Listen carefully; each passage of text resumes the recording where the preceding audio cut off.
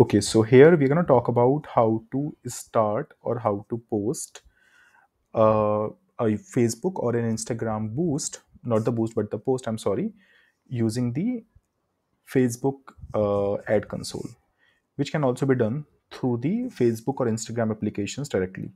So we simply have to click on, like, come on the campaign tab, we click on create, and here we choose awareness awareness is like a campaign objective. So when you create any campaign on facebook you are supposed to choose an objective of the campaign first. So i click on awareness then continue.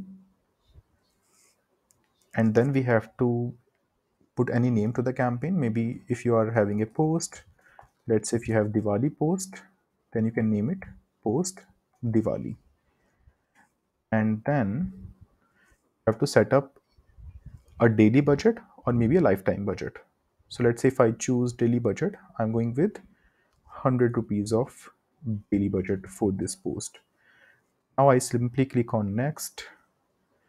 Here I have to give an ad set name. So I'm keeping new awareness ad sets, same name which is recommended by Facebook. I'm putting in an end date of let's say 10th of October. So this campaign automatically stops on 10th of this month. Now in audience, I'm going with uh, location as India. Age range is 18 to 65, gender is all. And in detailed targeting, I'm choosing one targeting, let's say study desk standing desk.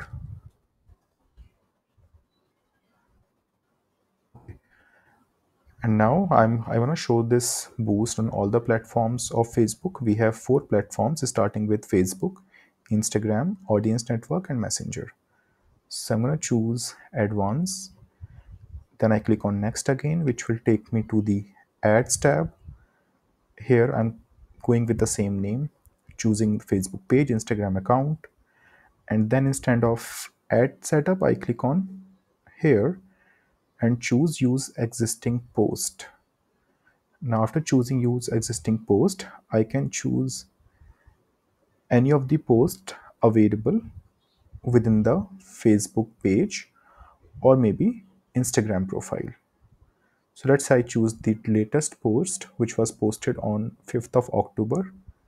I click on continue and then I can choose my button that could be uh, send message or maybe contact us and then I simply click on publish. Now clicking on publish will launch this post as per my requirement on Facebook and this is something which you can also do from your own Instagram or Facebook